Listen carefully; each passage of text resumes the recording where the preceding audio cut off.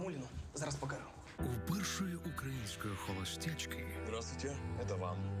Садись в машину, я жду тебя. найдостойніші чоловіки країни. Очень интересно. Тоже меня ждет. Вже цієї п'ятниці юрист на мільярд Ух ты.